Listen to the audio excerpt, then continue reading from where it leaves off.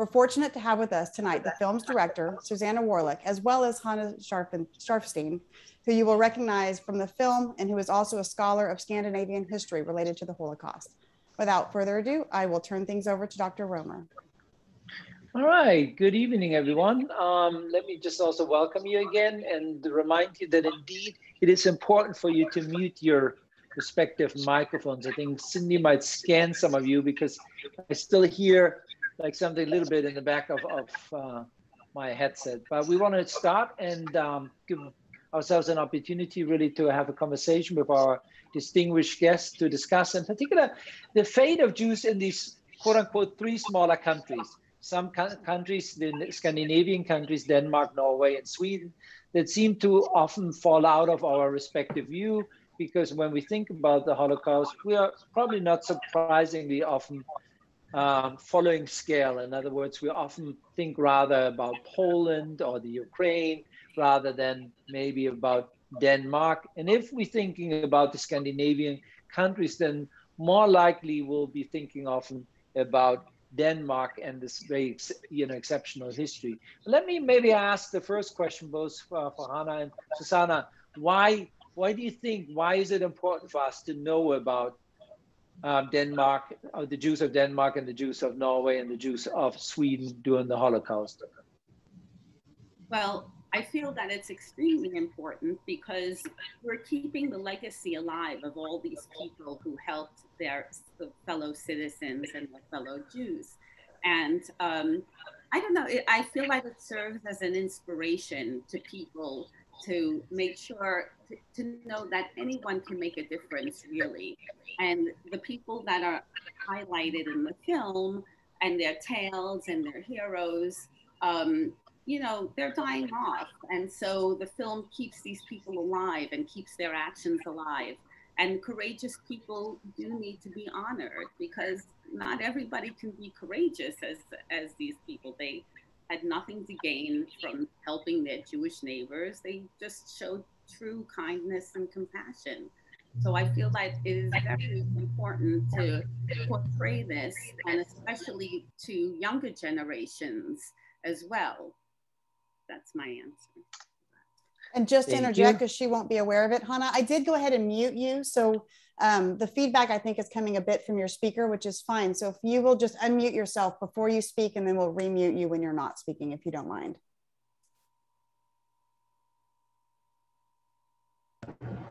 Okay. Am I muted?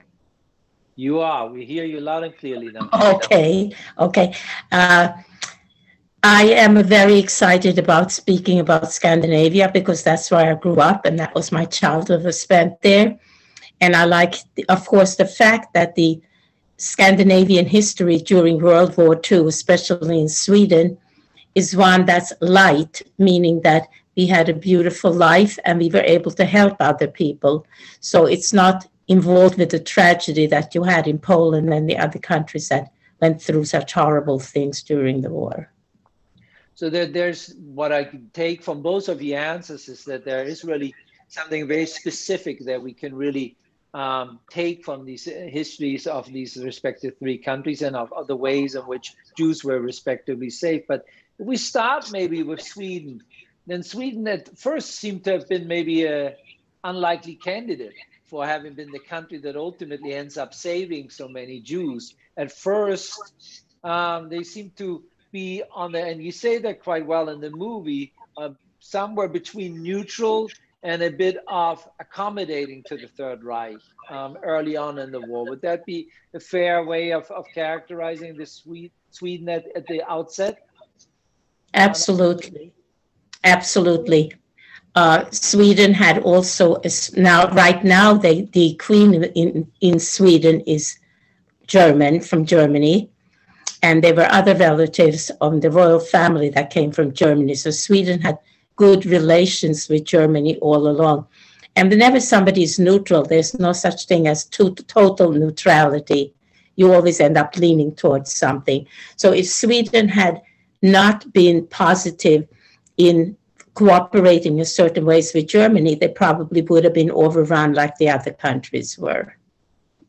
No, that's a really interesting point, and therefore I think it's also telling that much of, of the dynamic changed in 43, right? This is when also in many ways it becomes more apparent to, to many who, who pay attention that the Third Reich may not be invincible, that the Third Reich is, is not going to win the war. And that's in lots of ways, I think increasingly also with Sweden, where we started to see the change. But that's, I think, what's so interesting by looking at these three countries we group them all together, but respectively, that each one has a very distinctive path uh, through this through the Third Reich. So Denmark at first being the smallest of the countries, um, in lots of ways very quickly surrenders, but yet is able to maintain, as you document so well, a certain autonomy. Their administration does not collapse. The king famously stays in the country, but therefore they're in many ways um, more equipped to protect actually the Jews possibly than Norway is. Norway has a very different fate. How does it work out in Norway in your mind? Well, Norway had a totally different history. Norway only became independent in 1905. So Norway had not been independent for a very long time when World War II began. And they were fiercely concerned with being independent and not having somebody else rule them because Sweden had ruled them for a long span of time and they really wanted their independence. So they fought. They, of all the three countries, they were the only ones that put out a really, really big fight. And then they had Nazi sympathizers in Norway, the Quisling people. Quisling was a leader in Norway, and he becomes synonymous with traitor, and they had a Nazi party. So the Jews in Norway suffered a great deal. They lost half of their Jewish community in World War II. They were rounded up and sent to camps. So, it, but it is interesting. It's a country that fights, you know, very vigorously against the, the occupiers that ends up then being more acquiescence to the, to the Third Reich than, than the other two in comparison. Um, so it seems. If we go back to Suzannah, Suzannah, you attributed everything to the heroic efforts of mm-hmm. various individuals. Um, and I think the Danes and the Swedes, uh, Sweden, Swedish people are the best examples of that. How about the German side?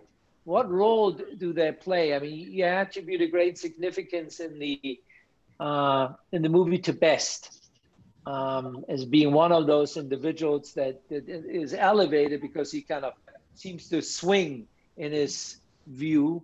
Um, is there something to be said about the Germans having a slightly different plan or attitude toward the Jews or to the Scandinavian countries than, let's say, the way they uh, interact, you know, act in the Netherlands or in France or even Poland or let alone later in, in Hungary? Is there something about the ways in which the Third Reich views these Scandi- Scandinavian countries that is important for us to recognize? Well, as you saw in the movie, uh, one of the Danish citizens, Sven, said the Germans thought that the, it, the Danish people were misguided Germans. And the Scandinavian people were the total Aryan looking people that they were trying to emulate. And so um, with Best, you know, he he saw, from what I understand, he saw, you know, the underground um, gaining control and, and the resistance movement happening. And he knew that if he would round up the Jews, it would be all out war. It wouldn't be as easy as rounding up Jews that will, uh, you know, just go you know, quietly. These Jews weren't going quietly. The resistance wasn't going to let them go quietly. So I feel like um, the story goes that he intentionally leaked the news because he didn't want anything to happen. And by doing that, and by the Jews escaping Denmark, he was really making the country Judenfrei. That Jews were leaving Denmark without any of the hostilities that you know would go along with the way the other countries were rounding up the Jews.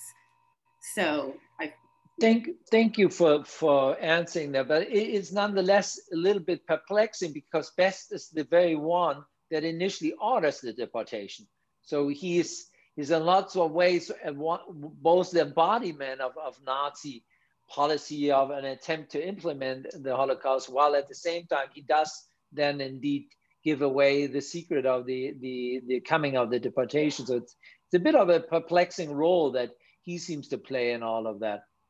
Well, I think that he got orders to Right. um, round up the Jews. It wasn't his idea, correct, Chana? Am I telling that correctly? Oh, you're Chana, unmute yourself. Unmute yourself. I keep getting muted. Okay, I have something totally different to say. Uh, there's a shining example of a leader here, Christian the Tenth, who was an unusual leader, and there was no other leader that I know of in any other country who reacted to his Jews as being citizens equal to all the other citizens. So he was the one that inspired the Danish underground to save the Jews. He inspired the Danish people to protect the Jews. And he's the one that made Werner Best, he made them realize that if they're going to round up the Jews, there's going to be a lot of trouble for the Germans who are occupying Denmark. So it's really goes back to the leadership of Christian X, who was the one who really united the country and made them solidly concerned about the whole situation of the Jews.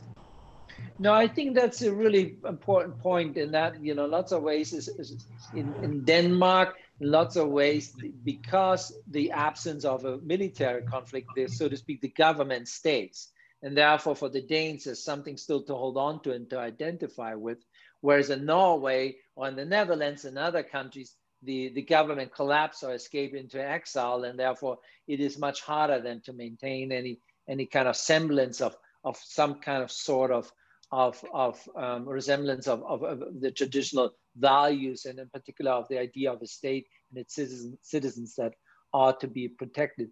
Nonetheless, you know, I think um, if we go into a different perspective, let's say to the Wannsee conference of January 1942, then it's quite apparent that the Nazis had planned for the Jews of these three respective countries exactly what they had planned for all the others. So we see the Norway listed, we see Denmark listed, and we see Sweden listed under the category of countries not occupied um, by the Third Reich. But nonetheless, the numbers of Jews are totaled out just the same as they are for Poland or for the Netherlands or for, for France. So there's something that is, I think, from that perspective, almost already destined to happen, which, however, then did not happen. And I think it is probably for a mixture of these factors um, that Chana just um, highlighted, Christian X on the one side, and then also the growing resistance. Uh, but also again the, the the heroic acts of these individuals. I mean, we have to remember that the saving of the Danish Jews in the end is done by endless amounts of individual fishermen, as one sees so well in your um, in your movie. I think the movie early on occupies quite a bit of space with this early sequence, and then moves halfway into a very famous story, and that is the role of Raoul Wallenberg and and then the saving of Hungarian Jews, and then we have one more kind of layer of time toward the end. Should we like move maybe into the middle part of your movie, into the discussion of of Raoul and, and his various attempts to save Hungarian Jews? Yes. Um, you know, I, I, the focus of the movie was to capture um, Sweden. And so that's why I focused on any anybody and anything related to Sweden. And that's how Raoul Wallenberg comes in. Um, you can, I'm sure you, you can make a whole other documentary about Raoul just by it, by himself. But yeah, you know, he, he, here was a, a man who um, did miraculous things. And uh, it's so touching to see how he, you know, selflessly and, and so courageously he confronted Nazis. And, but he was groomed to be a very good negotiator.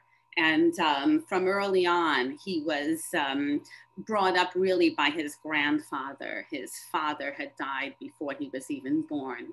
The grandfather wanted him to be worldly. So he, you know, did things and sent Raoul to different places, even including to the United States, to the University of Michigan, where he got a degree in architecture. Mhm. Um, but but I, I did read that you know he would hitchhike around and hitchhiking around helped him with his negotiation skills. So you know it, if you read things, um, it all says he was such a great negotiator with such uh, a presence to him that it's not surprising that the you know the Nazis were afraid of him or listened to what he had to say. And you know, as we were told while we were interviewing people, he was like the right person at the right place at the right time. It's a very uh, common expression when you talk about Raoul Wallenberg. No, very true. Um, I think you know, emphasizing the right time maybe here as well. I mean, he really exerts much of his influence at this tail end of 44, where everything gets immensely confusing because the Nazis are increasingly losing control. The Hungarian fascists are asserting themselves. The Russians are already kind of reaching, um, you know, quite literally uh, Budapest. And it's in that confusing landscape where he's able to pose quite literally in this very um, emphatic way himself as a, as a, as a diplomat who asserts his power and his authority. But I think it is also possibly facilitated by this very confusing moment where it becomes apparent that the Third Reich is, is something that is, is not going to last much longer. Mhm. Yeah, yeah, and.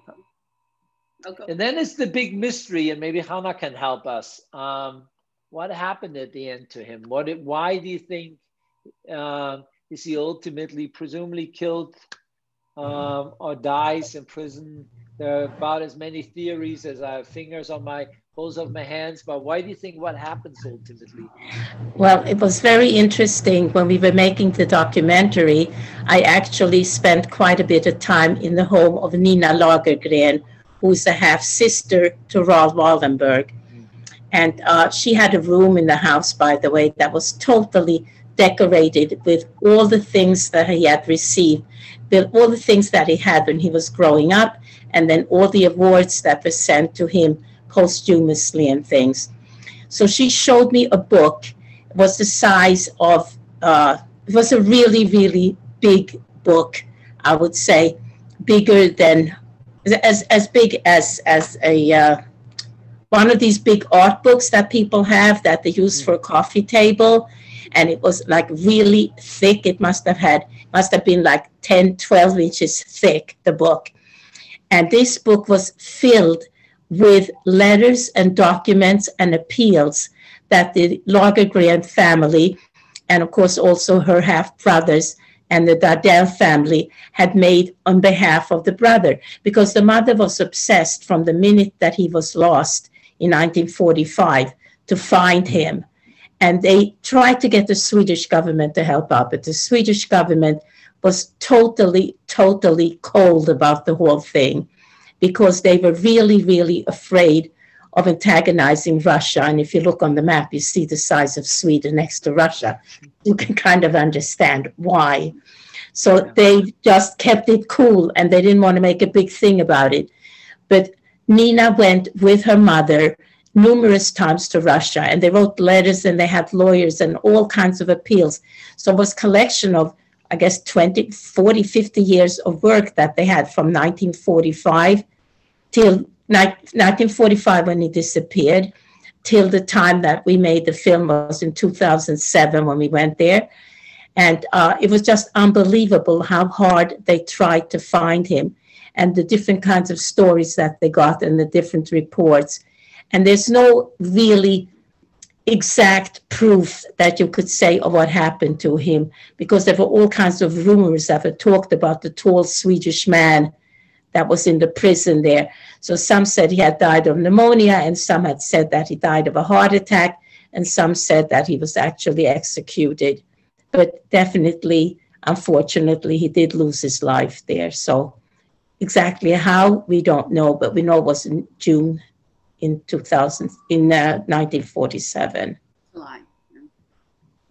Yeah. Suzannah? July 1947, sorry. Yeah, July. Yeah. I mean, they, you know, when we uh, interviewed these Swedish diplomats as well, um, they did a whole big research, like from uh, 1991 to 2000, and it was supposedly a, a Swedish Russian uh, collaboration. Uh, you know, Sweden had all of these, um, you know, all of these papers, and Russia came up with uh, such little papers. And at the end, after all those years, nothing was conclusive. They still didn't know because the Russians first they said that um, they didn't have any records on Raoul Wallenberg, but then that was proven wrong. And then they went ahead and said he died of a heart attack in 1947, which we have some uh, uh, people saying that's crazy. You know, he was a young man. How could he die of a heart attack? And then, but other writings say, you know, when they say a heart attack, uh, it's another way of saying, okay, they, he was executed. So, but the family never received the body. They don't know where the body is. And of course, there are writings that he was cremated, but you know, they no, nobody ever came up with a conclusive. And the Russians aren't going to say that they they were wrong. They are sticking to their story that the that he died of a heart attack in 1947. But um, and I just read that uh, you know the family asked the Swedish government to declare him dead and and the uh, declaration of death would, would be five years after um, they actually saw him alive. So it was 1952, uh, July 1952, that they officially uh, said he was dead. Um, so yes, very sad, very sad. Thank you. Um, if, if it's okay with you, I want to move us to the last segment because I don't want to use my privilege here too much because I know there are already quite a few in the chat chat um, window that are posing questions and our other visitors also want to have a chance to ask that question. So the last segment also concentrated on Sweden, focused on Sweden, Count Bernadotte and Heinrich Himmler. In many ways, if you know, up until this point, the movie had already brought up quite a few confusing or, or interesting stories. That is probably the, one of the very last ones that once again seems to be a bit perplexing that all of a sudden we have Himmler from all the people uh, who's consulting now with Bernadotte about ways of by which one could save Jews. Would you mind speaking a little bit more about that and why you thought that that was important? Um, again, I wanted to focus in on Sweden. So Count Folke Bernadotte was from Sweden, and of course the Swedish Red Cross um, played a major role in bringing in refugees during the last couple of weeks of the war and even after. And it was lucky for us that we had survivors. Um, if you saw Magda on the, the movie, she came while the war was still on and had a totally different experience than Yenti, who is Chana's sister-in-law, who came after, and Lanky Rothman, who came after, all on the white buses. Um, so, I, and, and with Himmler, you know, everybody at the end of the war, you know, I, I want to call a, a spade a spade, but you, know, these high-ranking uh, Nazis that they, they saw their future. They're going to be held accountable for these crimes, and uh, everybody's trying to help save Jews at the last minute. Um, so I thought that was important to tell, especially since we had the we had um, survivors who had experienced uh, coming to Sweden, and as you saw in the movie, when they came to Sweden, it was like coming to paradise um, from the hell that they were in. Thank you, Chana. You want to add anything to this? You have to unmute yourself. we were getting good at lip reading, but we're not quite proficient yet. There you go. Okay. Uh, no, uh, there was people in Sweden, Jewish people in Sweden, who were the ones who initiated the discussions with Himmler. was a whole big story that they got involved with the masseur from Finland. His name was Kersten and they got him to speak to Himmler about it, and there was a whole group of transition. They, the uh, Swedish Red Cross were helping Scandinavian prisoners of war in the concentration camps, mm-hmm. And they wanted that to be extended to include all the Jewish people who were in concentration camps that could be helped. And so there was a tremendous amount of work that it, it was just so interesting that even the last few weeks of the war, the very last few weeks, when you knew that it was going to end, that they managed to take out thousands of people who probably would have died in the death marches. Mm-hmm. And it seemed like, why were they rushing to help them out? Well, had they not done that, those people would have died. died. And so, for example, in Stockholm, in the not in Stockholm, but in Malmö, which is in southern Malmö. Sweden, which is the first port they came to in Sweden, there's so many young people who died soon after they came because they were so sick. But at least they had the privilege, the honor of being buried in a grave and having a marker for their name. And even that was like a big thing. So Folke Bernadotte really was very helpful in negotiating this, and that was tremendous big thing. No, that is a very powerful part also again of your movie when uh, we, we, are in Malmo at the Jewish cemetery and we see all the gravestones of all those and then we see the dates, um, September 45, October 45, um, that reminds us that some, you know, you know, in many ways were safe, but could not be ultimately safe because they were so sick so that they then died indeed um, in Sweden. Now, before we hand over, let me just, because we talked a little bit about, let's move a little bit forward. Three countries respectively with very other and very distinctive histories of the Holocaust. How is that shaping today's culture of remembrance in these countries. We talked earlier, just before everyone joined us, about Libeskind Museum in Copenhagen, which is a, in lots of ways a museum and a testament to the courage of the Danes, right? That's you know one way I, think of how one can make sense out of it. That from the Danish perspective, what matters about all of that is really to remember how courageous the Danes were. How's that in the other two countries for Sweden and Norway? Is it there more complicated in terms of what is remembered? Um, or is it similar um, that it's in particular for Sweden, that it's more the histories of, of, of saving Jews that is, is elevated? Suzannah, you might want to speak to that. You also have to unmute yourself, Suzannah. Unfortunately, um, you know, there were Norwegian resistance helpers as well. Mm-hmm. So um, unfortunately, I, I was able to go to only get in touch with one and um, it wasn't a good interview because we didn't um, speak uh, the right line. You know, it was through the computer. It wasn't, but um, there were Norwegian resistance fighters that did help people through the forest. Mm-hmm. Um, I think in all countries there are people that you know uh, come through with their kindness and compassion and don't stand by and help Jews uh, survive. So I, you know, but it's leadership. It's exactly what Chana was saying. It's mm-hmm. the leadership.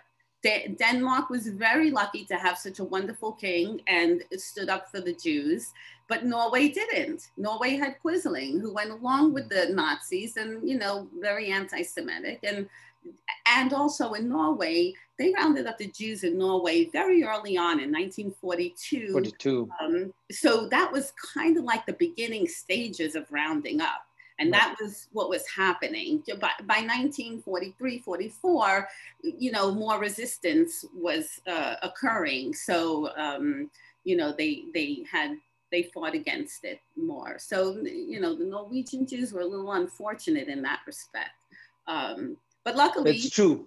Mm-hmm, yeah. It's you know, no, very good point that the chronology matters here a great deal. That yeah. the Norwegian Jews are deported in 42, whereas the attempt of, of deportation of the Danish Jews happens late in 43, when it, lots of things, the whole landscape has already changed. Let me now pull in Cindy again, that she can help us with uh, pulling out some of the questions from our other uh, visitors here in our online discussion. If you don't mind, Cindy, nope, not um, at all. You look in our mailing box and see what we find. All right. So we've got some comments and some questions and some mixture thereof.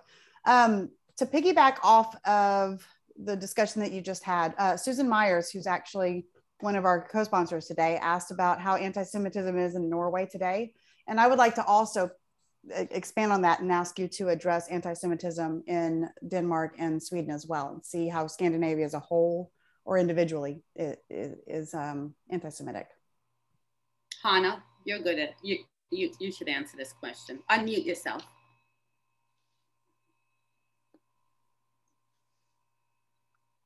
Okay. Unfortunately, there is a tremendous amount of anti Semitism in all the Scandinavian countries. But I, I really feel and believe that a lot of it is due to the immigrant population that came in, and that the immigrant population that, especially in Sweden, which is a very large group of people, is like a tremendous number of people. 20% of the population in Sweden today are immigrants, and they come from countries that are hostile to Jews. So they have really spread a new attitude toward the Jewish people. And I think in Norway, there was always a bit of an attitude toward Jews. Uh, it even started in Denmark, where they never really had it before. But it's it's like anti-Semitism is a sickness, and it's something that's it's just like corona. It just spreads from place to place, and uh, if there aren't enough people around to really take a big stand to educate the young people and stop it, it's just a very dangerous situation. Thank Okay, you, thank Cindy. you. Yep. Another reach into the little mailbox there. What else do we yes. find? Uh, another comment we have is that it was very interesting to learn how the Swedes were open to the survivors uh, and all through the war. So I wanted to read that comment. One of the, we have a, a comment that I think leads into a question. Before the war, the Swedes would not give refuge to Jews. Germans could pass through even train convoys. In 1942, when Norwegian Jews entered, they softened. Could you speak a little about the softening? Um, well, I, think there was a lot of pressure, and people attempted to come, they were turned back, and then I think uh, with the way the war was going, um, they were seeing that the Germans were kind of losing ground, and that's when they, you know, said, "Oh, okay, we have to go on the right side of history and now bring take in the Jews." Uh, you know, that's what I understand. Chana, do you have any other facts about that? Well, the truth of the matter is that uh, in the beginning of the war and right before the war, the same every country in the world, there was no place for Jews to go, including the United States. Everybody put up barriers, and Jews really could not go anywhere. The Germans said you can leave our country, but they had no place to go. You know, from the Wannsee conference that Nils we were talking about, no country wanted to receive Jews except the Dominican Republic, and that's where some people went. But uh, it was a situation that was extremely, extremely difficult in every single way. It's, it's, it was just overwhelming, the whole situation. And when the Norwegian people came, of course, Nor- Norway and Sweden have a border. You don't have to cross any water or anything. You go through the woods and you come into the country. And they came in, and I guess you couldn't turn them away. They they were just allowed to stay. But when the Danes were coming into Sweden, there was a whole big talk whether Sweden was going to let them in. And it was actually Niels Bohr, who was in atomic energy, and he was the one that spoke to them. And he said that he's not going to come out of and help out in any kind of way unless they let the Jews out. And actually, there were also stories of Greta Garbo, who was the famous Swedish film star, and the one that was her producer that they also went to the king of Sweden to plead with him to let the Jews come in. So it wasn't like a quick thing that overnight it happened. They had to really convince the Swedish people to let them in. Thank you. Um, one point of clarification that was requested in the chat is to clarify to make sure that it was Denmark whose king, quote, refused to give up his Jews. Yes. Christian the Tenth. That is correct. And then I had a private message talking about, uh, and this may be a Dr. Roemer point of clarification, clarifying that uh, it was the Budapest Jews who who were still there by the time Wallenberg arrived, and that half Yes. a mil- and, and half a million Hungarian Jews had already been deported. in Right. Before This that. is, you know, to a- many of our guests tonight, this story of the Hungarian Jews is obviously familiar through our founding director, Zsuzsanna Ozsváth, and much of what is who, who is a survivor from, from Budapest. And so much of what is in your movie uh, about the Budapest Jews reminded me of, you know, times of her story and how she was saved by her nanny and brought from one house to another house, another house. Uh, how she also talked a great deal about, about the Swedish uh, safe houses. I mean, one other thing, maybe just to jump in as we are, you know, emphasizing these courageous individuals, Christian X, and then um, the Swedes, and one, one thing that I found really remarkable and which I hadn't fully understood before that I learned from the movie, it's not just that the Danes save the Jews, but they keep their houses unharmed. I mean, that's what I find. You know, it's one thing to do something at one particular moment, but it's another thing then to leave all of these apartments and houses untouched so that you know one of the stories that you tell in the movie is is really when the family returns they pull out the key, they open the door, and the table is, is essentially still the way set as it was when they left. So that's, I think, is really remarkable. In particular, if we remember again what the Nazis do to um, abandoned, uh, um, empty apartments elsewhere, they loot them on a large scale in Paris and elsewhere to bring all to all the belongings into the Reich. Again, something that did not happen in Denmark. The Nazis never went after the property of, of those that had been saved by, uh, by the Danish um, fishermen. So that's, I think, is a really, really um, impressive moment in the movie when all of a sudden that story been told about how the Danish Jews return and find their homes unharmed. You know, I wanted to bring this up because it touched me so much when we were filming. Um, we were on, you know, trains and buses, and Chana was very good at speaking to everybody um, while we were traveling. And when we um, were interviewing people from Denmark, um, and this was on trains and buses, um, there was a lot of noise, but um, when we asked them about, you know, what they knew about the Danish rescue and what they thought about it, all across the board, they all said it was just the right thing to do. It was hmm. the right thing to do. And it was like, oh my God, so touching that uh, the whole nation, it's the right thing to do. I mean, what the people who were involved. And so, um, since it was too noisy on the trains and buses, I had to put it in the narrations, but but only because more than one, at least five people said the same thing. So it was really amazing to, to hear. No, along those true. lines in the chat we were asked as well is the history of how their courageous ancestors supported the jews taught today to the children in denmark? Say that again? I'm sorry. Are they teaching is the history today taught in, in denmark? Uh, is, it, is it important to the school curriculum? do you know about that? In sweden they are teaching um, about the holocaust but in denmark do you know well, I'd like to say two things first that I think are very important. You have to understand the nature of the people from the Scandinavian countries, or at least my experiences with the ones in Sweden, and I'm sure for Denmark and Norway the same. They're extremely uh, peaceful people. They're not people that like to get into heated arguments. You don't have a lot of shootings in the street and a lot of street crimes of the native people and they're kind to each other and they're very honest and they're very decent people. So, for example, if you're in a store and you buy something, and it's happened to me, and you end up leaving the package because you just simply forgot it. And then you go out to eat, and then you say, Oh my gosh, I left my package in the store. And you go back, and it's in the same exact place where you left it. Nobody even touched it. And I know that would not happen in New York City. So it's a different kind of people that you're talking about. They're not the kind of people that you feel are going to take things from you, that are going to, you know, grab things from you. It's that kind of society to begin with. Now, Sweden did something fantastic. They have a whole company, uh, part of the government actually, and it's something that's called Levande Historia, which means living history.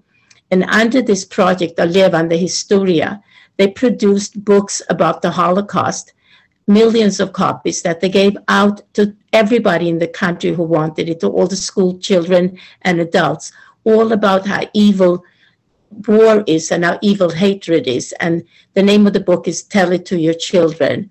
And they had it in it's Swedish, of course, and they had it in English. So they really made a project of teaching it, and they now have a project in Sweden called uh, Teskedsgruppen. So, so it's, it's it's really an organization about a teaspoon, which was based on an essay of a writer from uh, Israel, and he said that if you see something and you have no way of doing anything, so if you see a fire and you would take a bucket of water and pour on it, that's one thing. Or if you put a cup of water on it. But even if you have a teaspoon, just the action, and this became a whole organization that's called Teskedsorden, of just making the youth aware that it's important not to sit back and not to be complacent, but to take action when you see something that's wrong.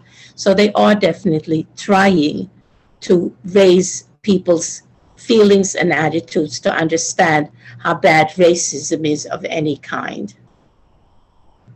Thank you, Chana. I think we had a follow-up question that just popped up, Cindy. Yes. Would you please explain where Raoul Wallenberg got the money to buy the safe houses? Aha. From the US So- government, Yeah. from, from the war, from the War Refugee Board. The US government was funding it, uh, along with other sponsors and Jewish organizations. But that's where he got the money. And the last I read was that they put a $50,000 in the bank account, but he ended up getting more money from other um, organizations as well. That's, that's where. Perfect. And then I know that this is a very complicated question with a very complicated answer, but how long were the Danes in Sweden? Oh, the Danes were in Sweden from the time that they came. They were there till the end of the war.